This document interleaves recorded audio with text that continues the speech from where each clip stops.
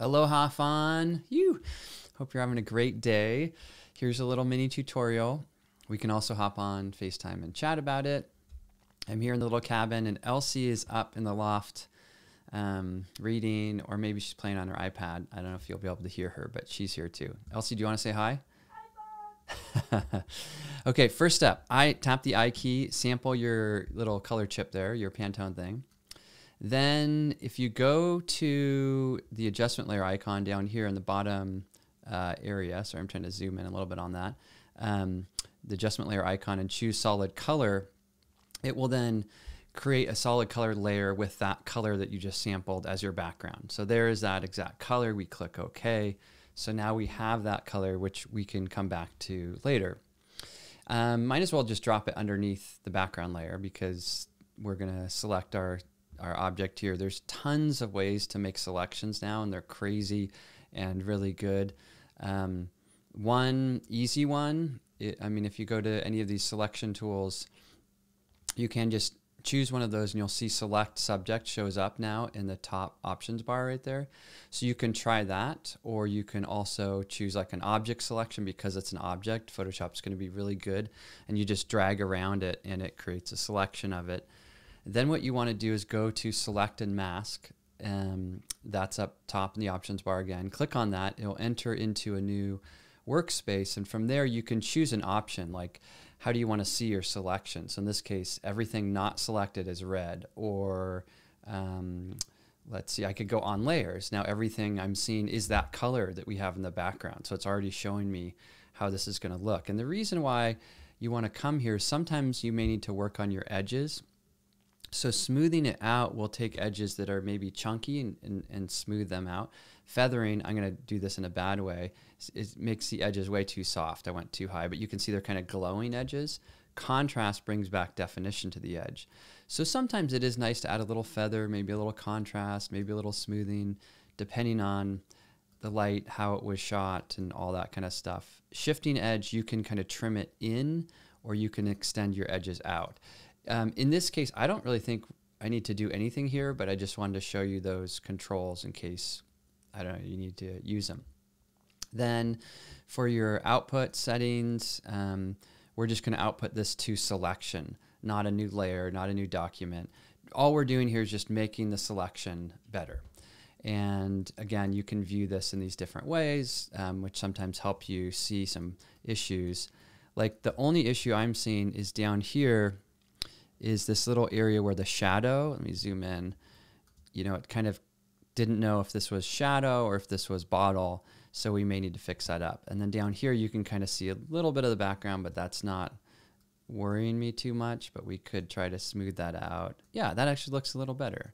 Um, you probably can't see that, but to my eye, that looks better. So again, all we're doing there is just making a better selection. So step one, use one of the techniques to make a selection. I used, I chose object selection. You can also do quick select, or you could do select subject up here, or you could use quick mask. But then you go to select and mask and sweeten it up, fix it up. Next step, click on your mask icon. And sometimes it's helpful to have something crazy in the background. So I'll just go to solid color and do like blue or something bright blue. And the reason why is that can really help you see um, what the edges are looking like. Like back to that issue I was pointing out earlier is this little thing down here. Again, I have no idea if this is a problem or not, but if it is, um, we could grab our brush, tap the B key. Um, I'll, I'll paint with black there and just kind of, um, I'm doing sort of a bad job on this, um, but try to make this little edge a little bit nicer and I'm just tapping the X key to go back and forth between black and white so I can kind of fix it from both sides. And I think that's fine. I mean, no one's going to really even see that. We're zoomed into gazillion percent. But again, if you need to do that, you can do that. All right. Um, obviously, I don't have the shadow, um, and I'll talk about that in a second and why um, uh, I don't have that. But so far, we can see okay, now we have it on the good on brand background, and that looks awesome. What I would do for the shadow is make a selection of that. And let's just use a quick select tool and just drag our paint over it. And it's going to make sort of a rough selection of this shadow. And I mean, if we wanted to, let me just copy this layer so that the background layer is intact. But if we wanted to, we could just click add layer mask. And then now I'm going to set this on the top of the stack. I'll call this one shadow. Again, you don't need to do all this naming um, every time, but just so when I send you the file, you can, it makes sense. So here we have kind of our bottle and there we have our shadow. Our shadow obviously needs to be fixed up, which is fine, no biggie. Um, and it needs to be fixed up in the, the same way as before. So grab the brush tool and I'm going to paint it all the way over here to connect to the bottle because I want to make sure it's connected there. Make a little teeny small brush and get it in there. Okay, there's my nice little shadow. Um, and that's just naturally how it is. Darker as closer it gets, and then make sure this is actually all the way there. Okay, good. Now, what do we do about all the chunkiness of the shadow? There's a lot, a lot of options we could do here. One option would be to, if you double click the mask icon, it opens up the properties panel for masking. You can also go to window and properties, same thing. We could go to select and mask here. And same kind of things we've seen before, we could sort of feather this out. We could sort of smooth this out. So if I smooth this out, now it's going to have much kind of smoother edges, maybe contrast. I could also view this on layers. So now I'm kind of seeing it in real time, how that looks. So that's definitely one option. Um, so I'll just click OK there. Like that's one way to sort of smooth it. Another way is to go into the mask panel and just add some feathering and that could kind of soften it out depending on how, we, how you want that to look. Um, and then another way, which is what I think I would do if I were like professionally hired to do this. So I would create a, uh, a group, put this inside of the group, click on the group and add a mask. So essentially I'm going to mask away what's inside of this. And maybe just to make this really simple, what uh, we can do here is if we have our brush and if we paint with black and we're going to paint without any hardness, nice brush size. And obviously you can slow this video down and repeat it. I know I'm going fast, but what we can do is I could sort of click and then hold down the shift key and click and create, that one didn't look very good. It's a little too dissolved, but click and shift click, create kind of a straighter line there for it, um, for the shadow. Click and shift click. So it kind of removes some of the, the wonkiness of it. Click and shift click. When you click and shift click, you're just creating a, a straight line. Um, and what that's doing, if I click on this, you can kind of see the before and after. Let's let me show you that kind of in in real time with this, so you can kind of see how what went from kind of this awkward shape is just this nice smooth little shadow there. It's the wrong color, but but it's nice and smooth. So I, I think that shadow should just be smooth, and then you could you can play with that too. Um, even I'm going to make my brush bigger and then I'm going to go down, tap 10 or 1 on the keyboard to go to 10% opacity. And you could kind of fade this mask off if you wanted to, like often, you know, as it gets further away. So it kind of dissolves out, um, has a stronger, you know, you can kind of see it sort of transitions now. Again, I'm getting a little carried away. I don't even know exactly how you want to do that, but just kind of highlighting that the advantage of this double masking technique that we did over here is you have one good mask on this layer and then another one which is refining it. All right, so then that's cool. So now we need color, right? We need to get back to our color thing. So I go back to my little color chip, just make sure that's good. Eyedropper, sample that color. Just want that as our foreground color there. Um, and I didn't, I guess I could have sampled the background, but I was just trying to be precise once you have these backgrounds and the thing we'll do to the shadow, you only need to do it once and drag it into the other files. So this is a one, one and done kind of thing. All right, so then I'll click into this little layer group just to highlight. We have our little shadow there. We're in this little group. I'm gonna click on the icon again for solid color. It's gonna choose that color I already sampled, perfect. And then I'm going to do a layer clipping mask. If you hold down the option key, that now that is covering up the shadow. It's going to be exactly the same as the background, so that's not what we want. What we want to do is change this to a blending mode of color. And now what you'll see is when that sits on top of the background here with our little bottle, that it's taking on the tint of that background, but it's darker.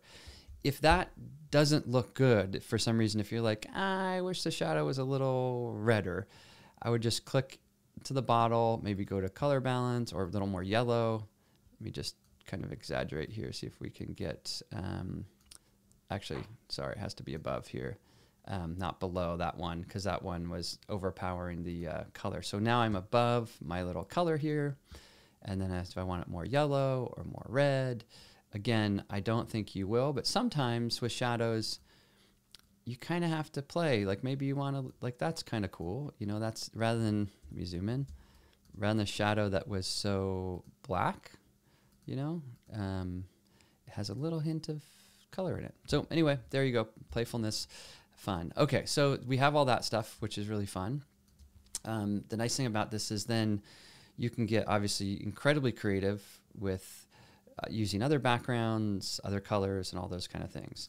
So I'm going to call this one shadow. I'll send all these to you. And these guys, I'm just going to group together. I'm going to call those um, notes because those are the notes to me. And then let's just go back to the little background. So we have original.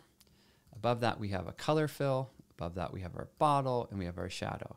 So if for some reason, I don't know, someone, you, someone in your family wanted a different color, you've already seen how we could use solid colored layers. You, you can use really whatever you want.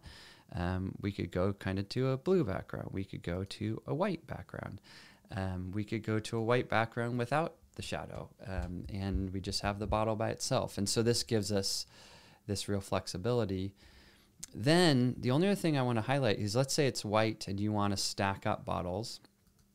I'll go ahead and drag this to the new layer icon or press Command J and then move this over, is when you're stacking bottles, you may notice something interesting about your edge that you hadn't before. So see how the edge got brighter because it was on a bright background right there? If that for some reason bothers you, or if you want to add more shadows, what I would do is double click the layer and start to play with inner shadow. And so with inner shadow, you see how I'm kind of darkening, um, darkening the edge from the edge in. So if because we don't have that same color there or something, maybe we want a little um, a little darkening around that. Or maybe in addition we want a drop shadow. We want a little shadow behind it, and maybe let's see. Um, let me just do something so it's really obvious so we can see what it is. Um, and then I'll zoom out again. I'm not saying this is a great drop shadow, but you can see, okay, I have my little drop back there behind this guy. Um, then we can always, you know, turn these on and off as needed. Or if the inner shadow is too strong, just change your opacity level.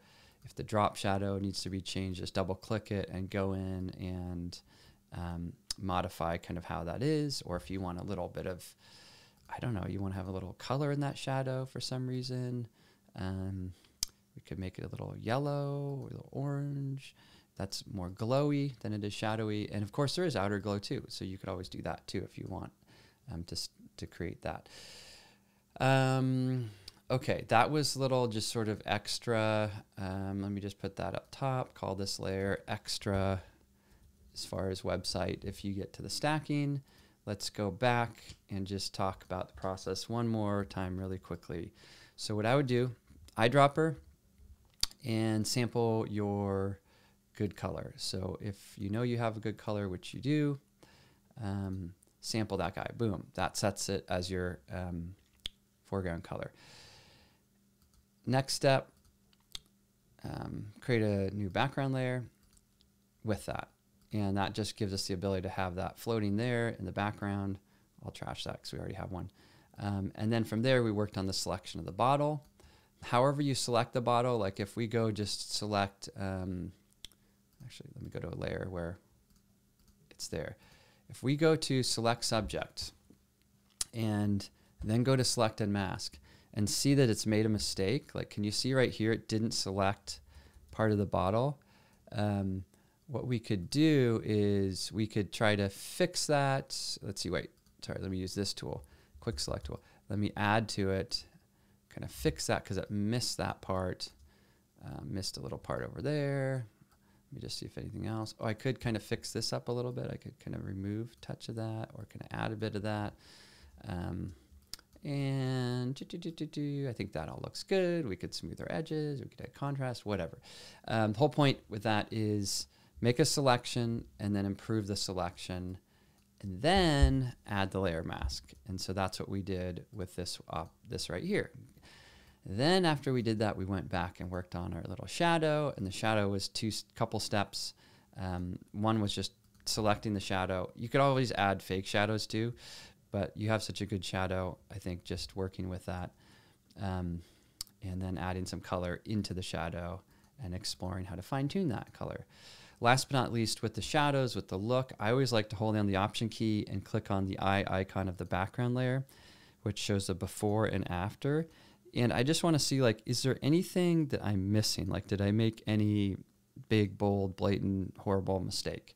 Because um, that just gives that ultimate kind of before and after.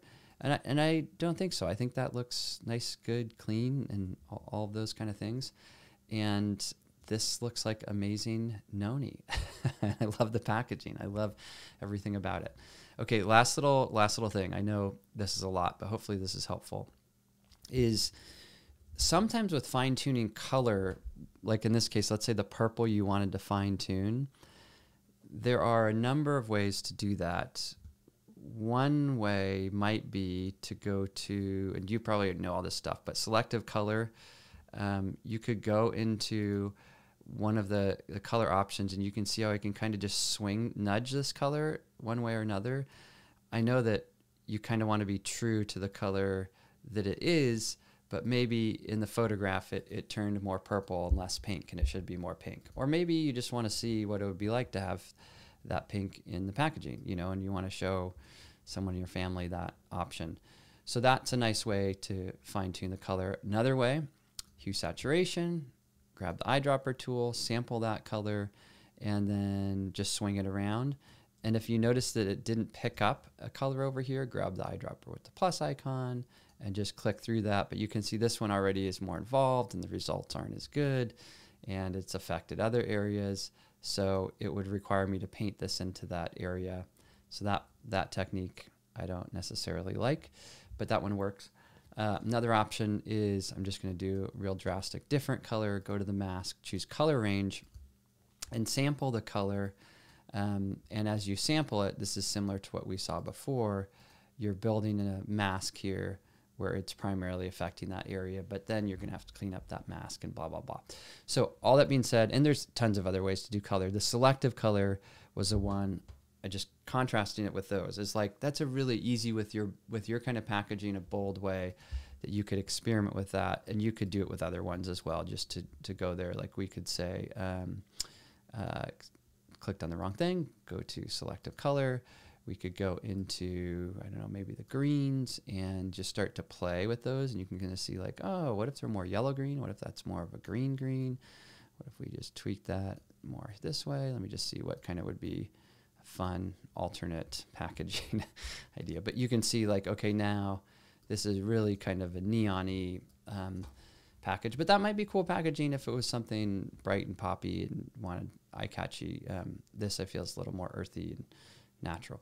But all that being said, options, options. I hope that is helpful. There you have it. Reach out to me. Let me know. We can always do this in real time.